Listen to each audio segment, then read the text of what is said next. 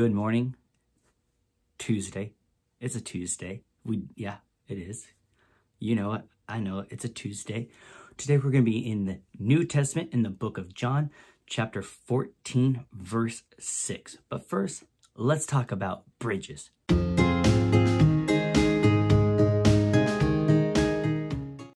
I love bridges. Do you guys know, have you ever seen Mighty Med? I love bridges. So bridges help us get to where we need to go, right? Usually they help us cross like a big canyon or chasm or body of body of water. And usually they're made out of like concrete and steel and that kind of stuff. But if you were in the jungle, it would be like bamboo, wood, vines, and sometimes it's the only way to cross a big ravine. And lots of times those are the kind of bridges that like swing and can be a little scary. And you have to like hold on tight and walk pretty careful, carefully, right? And sometimes you look at those kinds of like vine bridges and you're like, mm-mm, I ain't crossing that. But what if it was the only way, the only way to get to the store, the market, or hospital?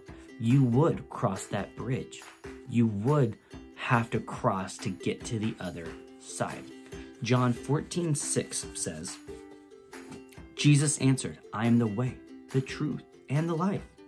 No one comes to the Father except through me.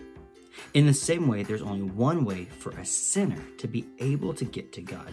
We have to cross the one bridge provided to us.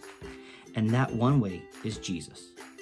Luckily, Fortunately, he's not scary or shaky bridge. He is solid, safe, secure.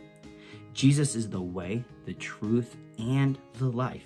He is the bridge of life. How many bridges do you cross in a day? In a day, how many bridges do you cross in a day? How many bridges do you cross in a week?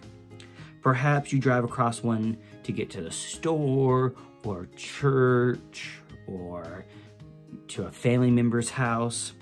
What is the br biggest bridge you've ever seen? Maybe on vacation or something. What's the biggest bridge you've ever seen?